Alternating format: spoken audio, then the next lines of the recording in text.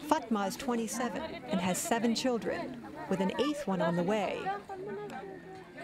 She's Chadian, the first wife of a village chief, though her youngest child was born in the camps. Because she didn't cross an international border, Fatma and her family don't get much foreign aid, even though her village was destroyed just like the Sudanese refugees. Fatma is fiercely proud of both her nationality and her Muslim faith. She almost single handedly keeps her extended family clothed and fed. Five times a day, she sweeps the mat and lays down a rug for her husband to pray. She never complains, even when it's almost midnight and she's doing her husband's laundry by feel. That's how dark it really is. Everyone else takes advantage of the cool of night to drink a cup of tea or chat quietly or sleep.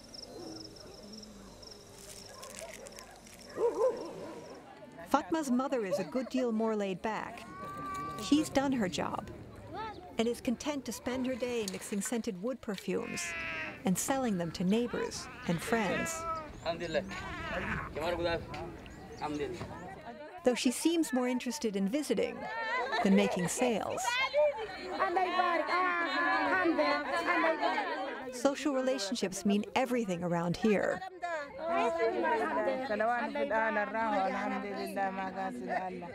It's the unmarried girls who do most of the hard work, under Fatma's watchful eye. The flour is cooked, but they still have to devein the leaves to make a sauce to dip it in. Eventually, the heat gets unbearable, and everyone finds a spot in the shade.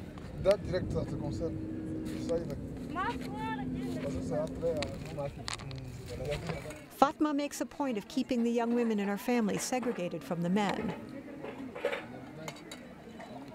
She makes sure their hair is covered and they're always fully dressed, especially if they leave the compound. Punishment is quick and painful.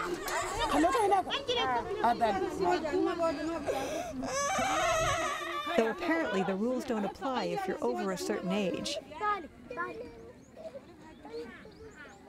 Inside the tent, the two year old has already learned to be ashamed of her own nakedness in front of a guest.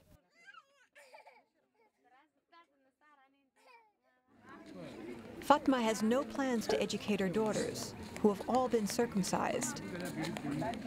It's Fatma's job to make sure they attract good husbands and one day have children of their own. In Fatma's family, no woman is allowed to eat until the men have had their fill.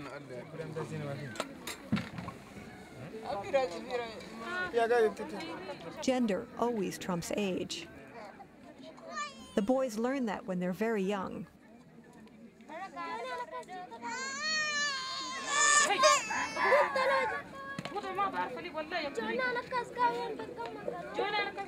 The youngest girls eat last, long after the boys are done.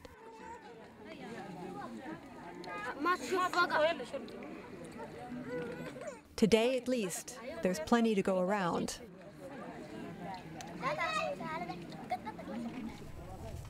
Fatma takes every opportunity to earn money in the camp, no matter how hard the work.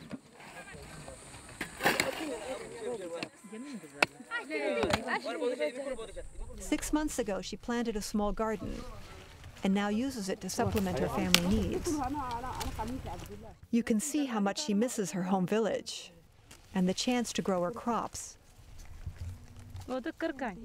But her meager harvest isn't close to enough. She has over 20 mouths to feed. She goes to market at least twice a day and watches every penny. The innards are an enormous luxury and usually reserved for men. And cooked meat is out of the question, not even for special occasions. You barely notice that she carries a baby on her back the entire time.